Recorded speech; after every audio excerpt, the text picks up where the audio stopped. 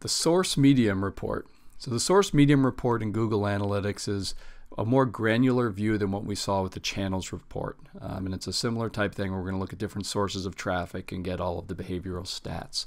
So to access this, we're going to go left nav, acquisition, all traffic, and source and medium. So I'm looking at our sample website here in a source medium report. Let's just overview real quick what this means. Um, the source is the specific source of the traffic.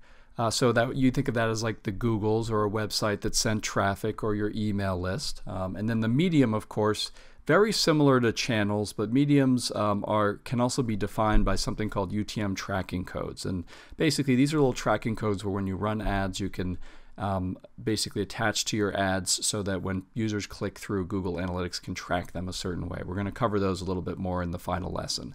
Uh, but in this particular example, our source is Google and the medium is organic search. Um, the next line item is from uh, thegoodtrade.com, and that's a referral. So it's uh, a specific website that's referring traffic to us. Um, this, of course, is Google and CPC, so we're running some uh, pay per click ads in Google, and that's coming across that way.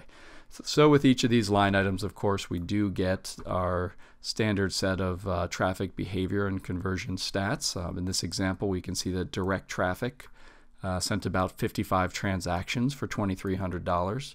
Um, Google Organic, so again, this wouldn't include Bing or Yahoo Organic, but just Google, um, 51 transactions at $2,600, and, and the list goes on. So this is a great, again, a great starting point where we can look at specific sources and mediums, slightly more granular, and identify the bigger opportunities uh, for marketing.